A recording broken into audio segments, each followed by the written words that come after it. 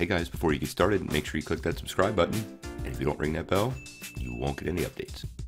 CBN presents Today in Comic Book History for November the 27th.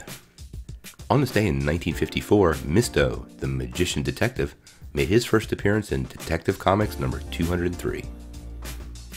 On this day in 1984, David Haller, the Mind Splintered Mutant Legion, made his first appearance in New Mutants number 25. In 2002, Dr. Tommy Elliot, also known as Hush, made his first appearance in Batman number 609. And in the official unofficial DC calendar, today marks the date that Greg Saunders made his debut appearance as the Vigilante. And born on this day back in 1940, Bruce Lee, known for many roles but played Kato on the Green Hornet. That's all we have for today. If you like this video, make sure you press like below, click subscribe, and if you don't ring that bell, you won't get any updates. See you tomorrow.